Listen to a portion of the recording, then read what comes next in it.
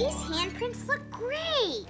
Thanks for suggesting them, Kenneth. You're welcome, Kathy. You've all put so many nice things into the memory book.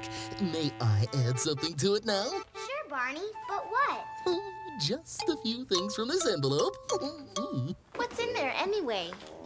You'll see.